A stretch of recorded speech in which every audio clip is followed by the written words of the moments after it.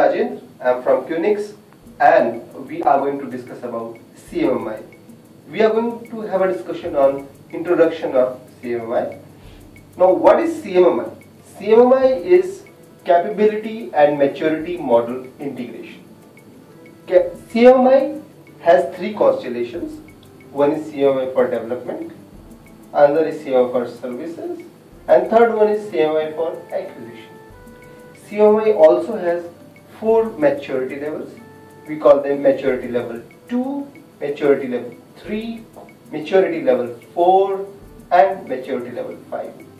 We also call maturity level 2 as managed, maturity level 3 as defined, maturity level 4 as quantitatively managed and maturity level 5 as optimizing.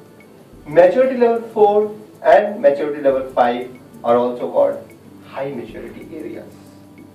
Now, in our next video, we will be discussing on CMMI for development, the process areas involved in CMMI for development.